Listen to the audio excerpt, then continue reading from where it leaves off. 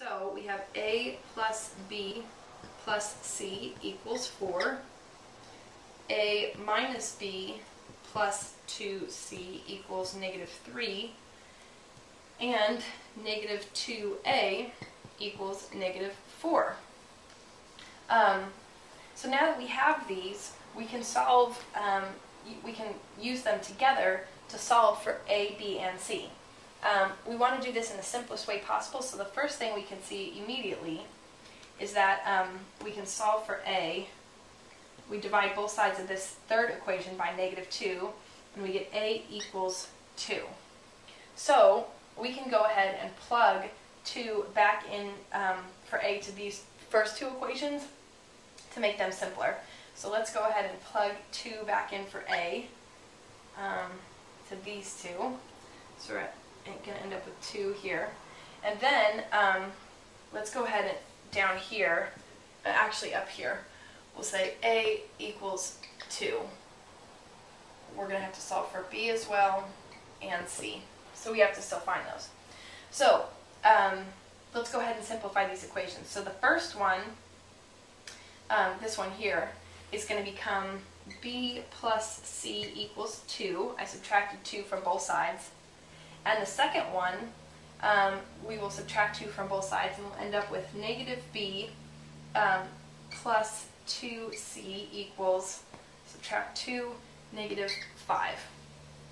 So now that we have these two equations, um, we can go ahead, I'm, you can do this in um, many, many ways. The way that I'm going to do it is I'm going to solve this top equation for b and then plug my answer back into here. So this, I'm going to say b equals 2 minus c. I subtracted c from both sides and I end up with, with an answer for b.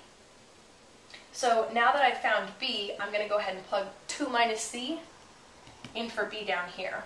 So I'm going to get negative, and um, remember to put that negative out front, and then um, put a parenthesis because this negative number needs to apply to both 2 and c here. So 2 minus c gets plugged in for b, and then plus 2c equals negative 5. So now that we've done that, we can solve this equation for c, and then we'll end up being able to solve again for b. So I'm going to go ahead and write this, um, we can just get rid of that. Um, I'm going to simplify this. So I'm going to end up with negative 2. Um, I have negative 2 here, and then minus a, negative is plus c plus 2c equals negative 5. So I'll add um, 2 to either side, and I'll have c plus 2c equals negative 3 when I add 2 to both sides. And then I add the c's together, I get 3c equals negative 3. And I divide both sides by 3 and get c equals negative 1. So let's go ahead and put that up there. We solve for c is negative 1. And now um, we can go ahead and plug c back into one of our um, original equations. Um, we've got c is negative 1. I always like to, when I get um, an answer for a, b, or c, I like to plug it back into one of the original equations. Sometimes I run into trouble if I've plugged it into an equation that I've like simplified from another one. So I always like to go back to one of the original ones that I wrote and plug it in. So let's use this first one here because it looks like it might be a little easier to do. So we've got 2 plus b, and then we said c was negative 1, so minus 1 equals 4. Um, so 2 minus 1 is 1. 1 plus b equals 4. We subtract 1 from both sides, and we get b equals 3. Finally, so b is 3. So we have now solved for a, b, and c. And we can go ahead and erase all of this because what we're going to do is plug those three numbers back into this side of the original equation that, that we wrote and put that back into the integral. So we're going to have the integral of this with these numbers plugged back in. So we said that a was 2, so 2 over x. We said that b was 3, so plus 3 over x plus 2. And we said that c was negative 1, so we have minus 1 over x minus 1, and then dx, of course, is just notation that always goes with the integral here. So now, finally, this is something that we can actually take the integral of, as opposed to this, which was just impossible to, to take the integral of.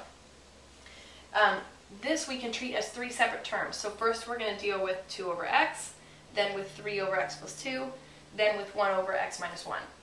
So um, the formula we're going to use for this is, um, we can go ahead and erase this now. Cut off our 3 here. Um, the formula that we're going to use, and this is something that you should know um, as part of calculus, it's a super important formula. It comes up a lot, especially with partial fractions. The, the answer almost always ends up using this formula. It is uh, the integral of 1 over x equals natural log, or ln, of the absolute value of x. You almost always end up using this formula in partial fraction problems. So plug it into your calculator, write it on a formula sheet, even be better yet, memorize it. Um, but we're going to go ahead and use this. So you can see um, we've got something here that's very similar to this form. Um, so the integral of 2 over x is actually actually going to be ln of the absolute value of x, which makes sense, right, because we've got that x on the bottom. This moves up here. Um, and then because this is 2, 2 is multiplied out here in front instead of just 1. That 1 is actually implied right there. So we've got our 2 in front. So 2 natural log uh, absolute value of x plus, and then um, you can see this here is going to be 3 times ln of the absolute value of x plus 2. And then this, um, don't forget minus sign here, we're going to have minus um, ln of the absolute value of x minus 1. And then um, always whenever taking the integral, don't forget to add c to account for the constant. But that is actually going to be our final answer.